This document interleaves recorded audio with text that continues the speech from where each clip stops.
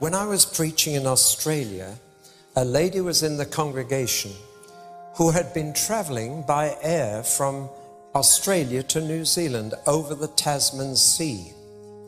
And halfway across to New Zealand, they had run into a violent electrical storm, and the, the clouds seemed to be on fire with lightning all around the aircraft. And, and she was quite frightened. And the plane was being tossed around with the wind and the air pockets. And the passengers panicked and they were screaming. They were holding on to each other. I think they all thought the plane would break up and they would all die. And the lady noticed that the lady sitting next to her against the window was praying. Well, anybody would pray in that situation. But she said to her, Excuse me, but are you a Christian? The lady said, Yes. and so they said, Well, let's pray together. And together they said, Lord, you stilled the storm 2,000 years ago. Please do it again. But please still the storm inside the plane as well as outside. And within two minutes, everybody in the plane was at peace and had stopped screaming and was sitting quietly.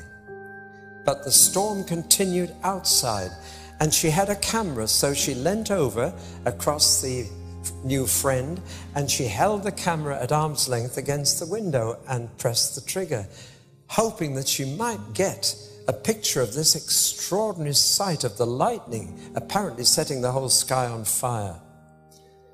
Well, she took the film to be developed in New Zealand after she'd landed safely because as soon as she took the photograph, the storm outside stopped as well.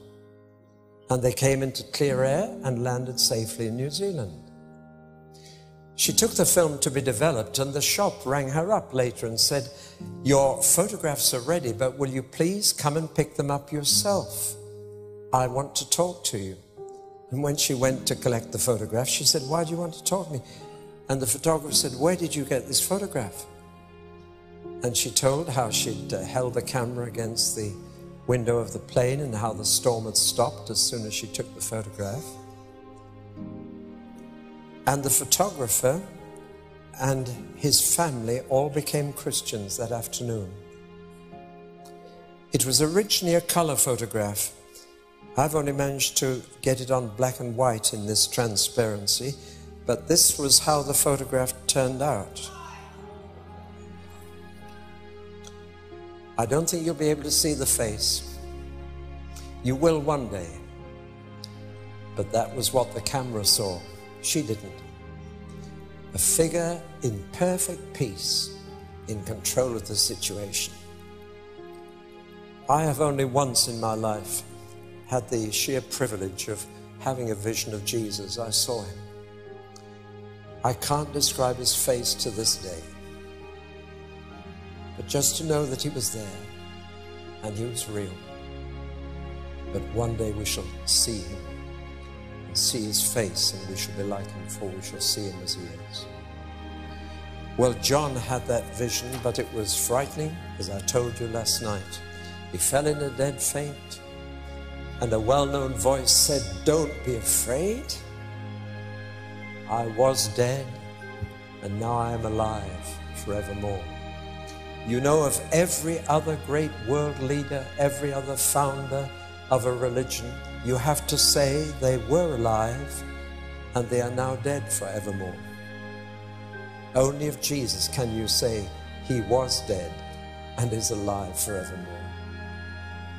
Confucius is dead, Buddha is dead, Muhammad is dead, but Jesus is alive.